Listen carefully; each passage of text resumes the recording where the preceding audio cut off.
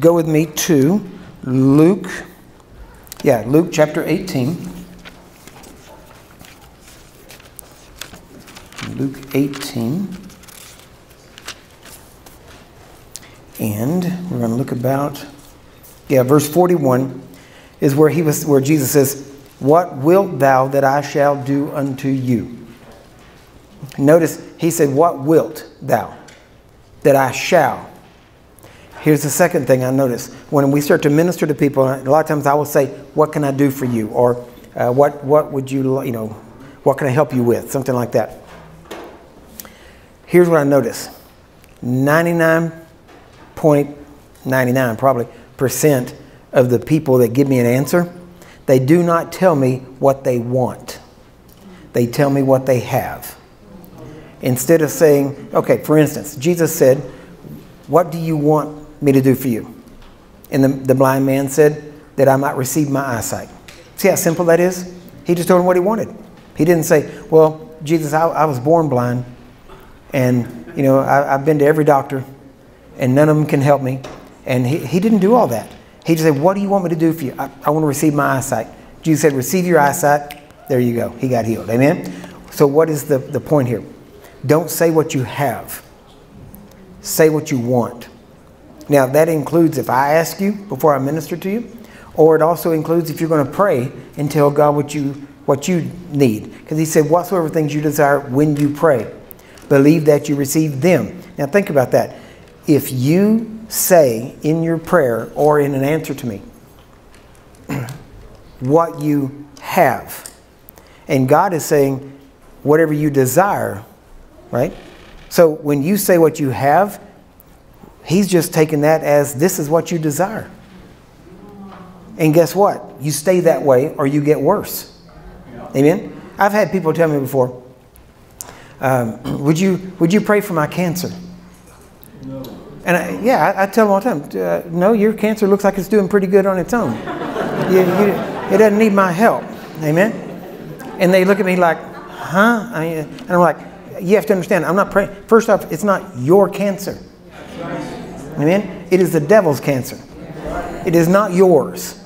You need to not embrace it. Don't make it part of your life. Amen? Keep it separate from you. Always look at it like it's separate from you. Amen?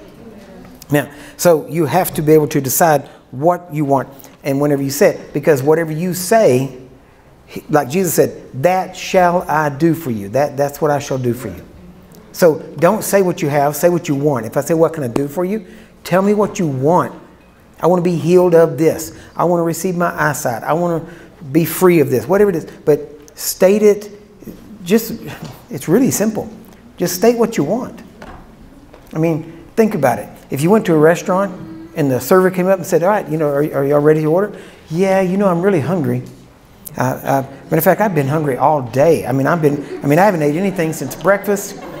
And I mean, my stomach's growling and I'm hungry. And I, am telling you, it's really bad. I mean, I'm really, I, I could be starving right now, actually. I'm not sure. I mean, and your server's just in there going, okay. Whenever you get around to an order, I'll take your order. How's that? Right? Maybe I can come back in a while once you decide what you want, not what you have. What you have is hunger. What you want is food. Amen? What kind of food do you want? Tell me the food you want. You can't even say, I just want food. Amen? Because then she's going to go back to the back or he's going to go back to the back and say, uh, just throw anything on a plate. They're going to eat whatever. They just want food. Here it is. That's what, You wouldn't do that with a server. Why do you think that works with God? Amen? Amen. So, all right.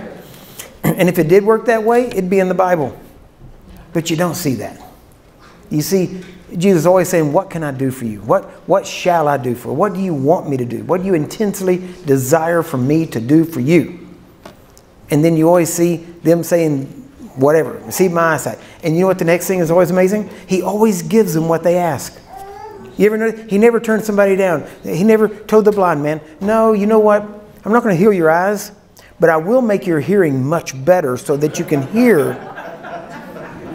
Well, that's the way we treat him. We think, well, he's not going to give me what I want. He's going to give me what he wants for me. Well, what he wants for you is what you want. Amen. Amen. He wants you to be made whole. That's what he wants. So he's going to give you. And he said, if you, you know, if you're a child of his, especially, then you're not going to ask for one thing, and he's going to give you something else. Jesus actually said that.